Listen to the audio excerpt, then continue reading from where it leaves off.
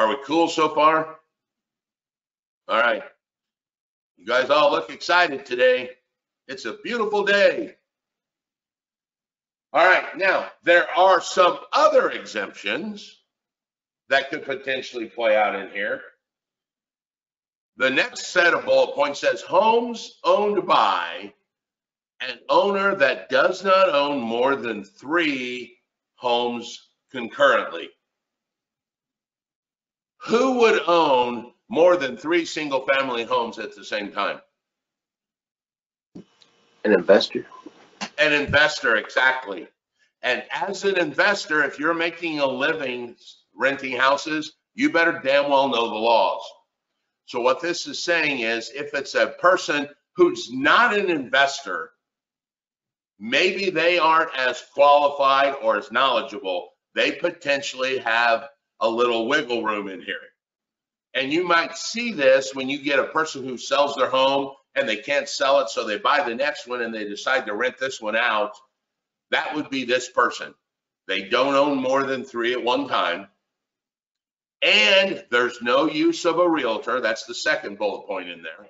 Once again, once we get involved, all this goes out the door. And then the third bullet point I want to emphasize, you can never advertise any discriminatory acts. Even if you potentially may think you have an exception, you can never advertise no Jewish people. That the the actual act of advertising is a violation. So if you've got just a little sign that says for lease and you have a double and you live in one and you're leasing the other out and someone comes up to you and there's no agent, less than four units. I don't know where my phone went to. Less than four units and it's owner occupied, and they didn't advertise it, they could potentially be exempt from the fair housing rule. All right? Are we okay so far? Good. At the bottom of page 351, they talk about the housings for older people again. And remember, this is an age thing, and age is one of them that we allow to discriminate on. They get special preferential treatment from the government if they declare they're a HOPA community. And that special exemption allows them to say, sorry, you are too young to live here. So it's not a discriminatory act because that is the HOPA purpose is to allow housing for over 55.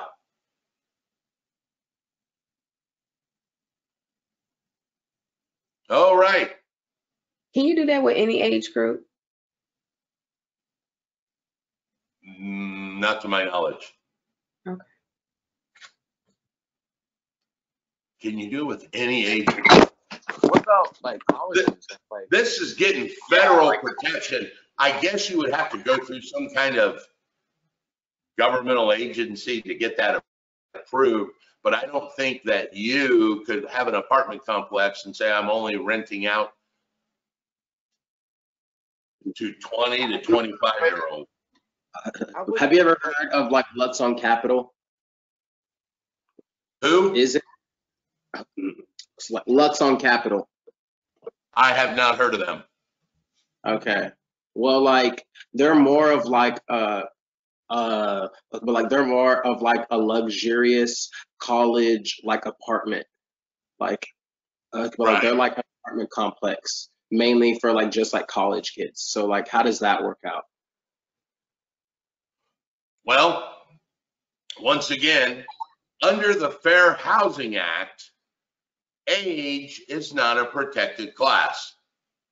So that I was, that's why I was trying to think through what Shauna asked, because I am not a practicing attorney. All right? I would imagine that Shauna, you probably could do something similar to what Jaman is saying about having a college rental on campus or close to campus and saying we only rent to people under 25 as long as you were consistent with it and didn't actually rent to someone who was 26 by mistake, because that would then put you in this trick bag. Because the others, you told, oh, I won't rent to you, you're 27, but you rented to this guy that's 26.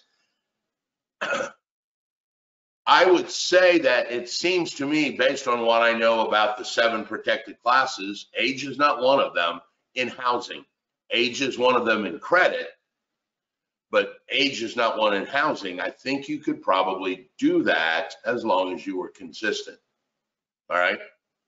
I do know a guy that was a landlord here in town, and one of his qualifications was you had to have a W-2 of four times the rent to qualify for the rental. And he specifically called out W-2, which would eliminate waitresses and bartenders and dancers and real estate agents that got a 1099 because his belief was you cannot garnish wages of an independent contractor or a contractor. So he wanted to only rent to employees where he could go to their job and garnish their wages if needed. And he got challenged once and actually the, the court case got dismissed before it even went to court. But he literally said, I don't rent to contractor employment people. And his stance was, your job is not a protected class. As long as I never rented to a contractor and always rented to an employee, I'm good. That's what he used to tell me. So I would, if you would use that kind of gap or that kind of uh, analytical jump, Shauna, you could potentially say, I only ran out to less than 30. All right.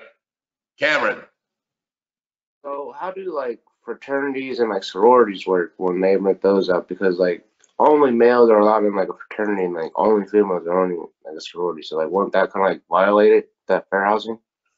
Since it's like sex, like no, that would be like, because those are considered private clubs.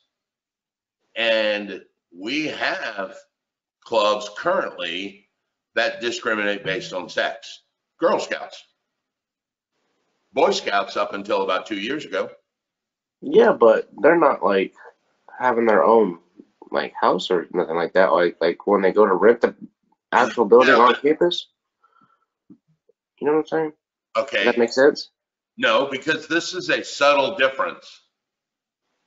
The house is owned by a private organization Mhm. and it rents to its own private organization. Okay.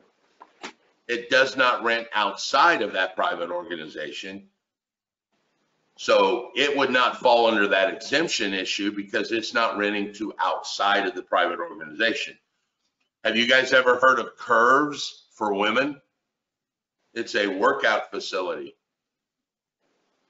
It's only female. Males are not allowed to join Curves. Now, remember, we, we're not talking about housing in this last couple. So that's going to fall under the Civil Rights Act of 1964, which is where the Civil Rights Act came from. And that's where the 1968 one came from, was 1964, which talked about civil rights in other areas like this. All right. The only thing I will tell you is two things. One, I'm not a practicing attorney. And two is somehow my assumption is there are so many fraternities and sororities in the United States that they cannot be operating illegally without someone by now jumping up and raising a fuss. All right. Um, You guys remember several years ago when the guy tried to get hired at Hooters? You guys may be too young.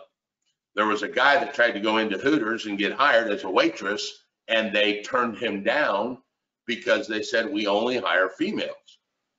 And he sued under Civil Rights Act. And they came back and said, okay, you, you, you win, we'll hire you. But our dress code for waitresses is these red hot shorts and a brassiere and the t-shirt. And if you're going to come in and work, then that's what you're going to wear. And he eventually opted to not take the job.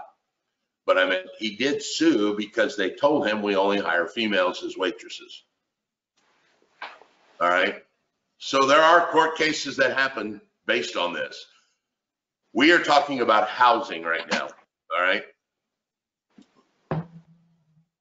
Uh, Jamon, do they have those down here in IU or Purdue, that company? There is one. There is one downtown, and it's called Lux on Capitol. I might like to look into that just out of curiosity to see what they're doing. And do they only rent to students? Four of my friends went to IUPUI and like they all, and like they all like lived there while they were like in school, and like they were all like college kids that lived there. So like I'm assuming that like they like mainly rented to like just like college kids, but like, but like I like don't know for a fact. Like Yeah. Yeah. I know a lot of investors that love to buy rental properties around the country near colleges because they claim they make good money. My problem is, dude, they're college kids. You know how bad that's gonna get tore up? You ever put four 20-year-old males in one house and see what happens? Lux on Capitol did actually get in trouble for throwing crazy parties for a couple years. So I mean Well, that's A house full of teenage boys, what can go wrong? A buddy of mine was talking, he's got a friend that's female, and she's got two boys. Funny story. And the one boy came in from the garage and he had spray paint on his face.